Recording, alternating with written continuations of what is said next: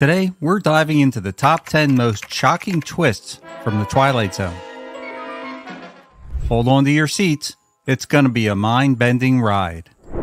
Number 10, The After Hours. Starting our countdown at number 10, we step into the eerie world of the After Hours. Picture Marsha White, your average shopper, navigating the aisles of a department store, but something's amiss. The store seems off. The mannequins? They're not just striking poses, they're strikingly real. As Marsha's shopping trip turns into a maze of confusion, she stumbles upon a chilling revelation.